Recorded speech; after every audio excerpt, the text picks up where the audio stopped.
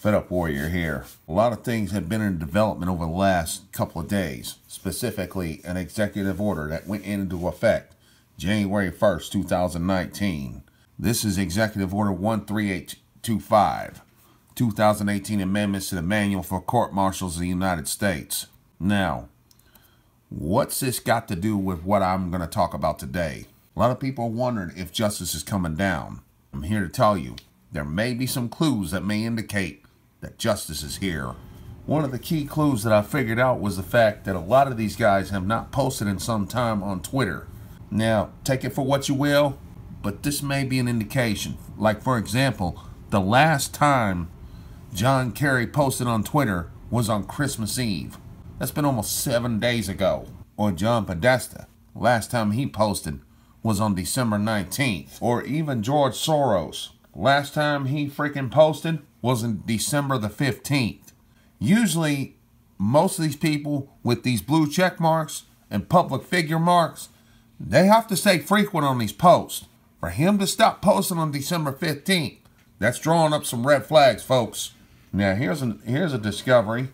David Brock, the last time he posted was on his pin post back on November the 29th. This joker's connected to the owner of Ping Pong. Now, this is Maxine Waters, Congressman Maxine Waters' uh, page right here. The last time she posted something was back on December 14th. Hmm, makes you wonder, don't it? Then we have Joe Biden. Last time he posted was on December 21st. You see a pattern here, ladies and gentlemen? These were some of the names, although David Brock was a bonus, and, you know, I put the tie that binds with his situation but these are some of the names that could be potentials that may be occupying that may be occupying Gitmo soon.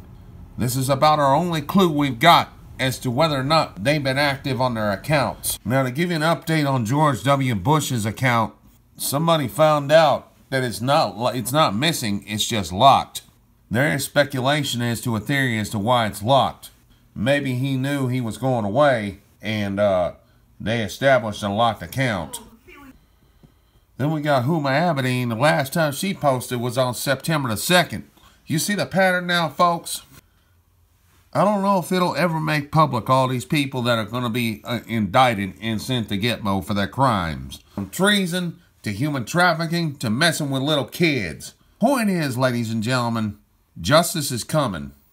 And all these people that I mentioned, plus many more, are going to be indicted and they're going to be judged and military tribunals are going to be sent. In most cases, a lot of them going to be sent here. The only other clues I can fulfill you with is two of them. Think about Bush. Think about No Name. And think about the fact how they conveniently died.